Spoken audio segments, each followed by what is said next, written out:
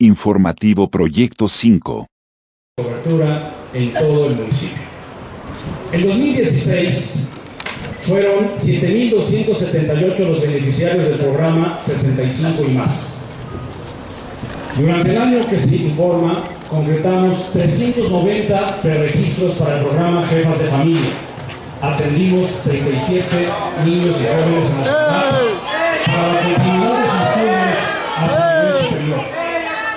Para tal objetivo, el gobierno federal invirtió en Texmelucan 285.339 pesos en este libro. Aquí, por favor. Gracias. En 10 estancias y de sensor ubicadas en la cabecera